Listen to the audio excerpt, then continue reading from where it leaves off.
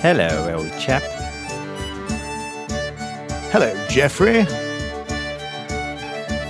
Welcome to my billiard room. Would you like a smoking jacket?